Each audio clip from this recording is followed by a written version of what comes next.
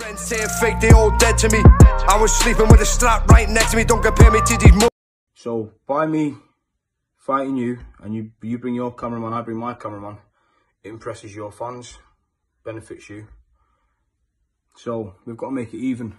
Knock him out, Derek. Can't wait to shut him up. He's this, he's that. That's on your side.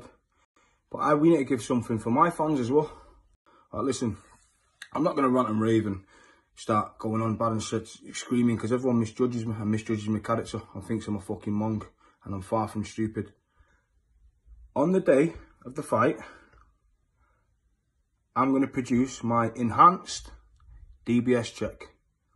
Now, if I can do it, I've lived a criminal life. I've been out, I've been out of prison. If I can produce my enhanced DBS, then with NFAs on it, you have to produce yours.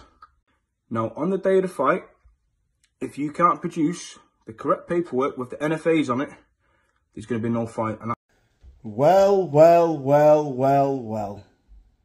Dodgy Dean, for the last two months, me training to get really, really fit to punch your face in, and you're now coming the bullshit that you won't fight me unless I produce my paperwork. What the fucking hell have you been taking, Paul? For I've never in the life of me, and ever, ever in the life of me, heard of someone wanting to see paperwork before a bare knuckle fight. Because you know what it is, little plastic gangster wannabe? This is what you are, Mr. Plastic Gangster wannabe. Shithouse, bottle job, right?